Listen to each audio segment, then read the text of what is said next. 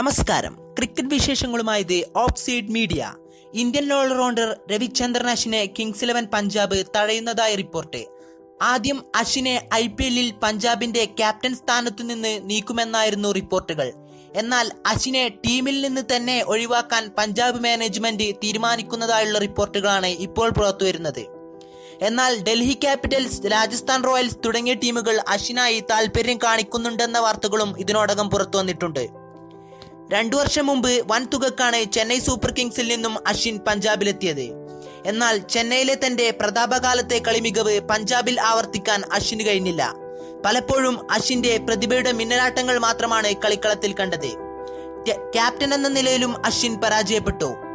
എന്തായാലും ക്രിക്കറ്റ് ജീവിതത്തിൽ അശ്വിൻ ഇപ്പോൾ കഷ്ടകാലമാണ്.